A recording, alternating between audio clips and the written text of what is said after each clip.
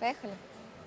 Я считаю, что конкурс «Мисс Вселенная» очень важен для Москвы. То, что приезжают все самые красивые девушки сюда, это, конечно, очень, очень удивительно на самом деле. И первый раз за 60 лет это для нас будет, наверное, что-то супер фееричное.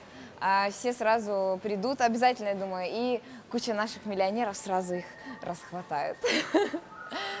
И э, считаю, что вообще для девушки принять участие в таком мероприятии это, конечно, большая честь, это удача, счастье. И можно собой гордиться, даже если ты уже выйдешь на сцену и улыбнешься. Это вытрите.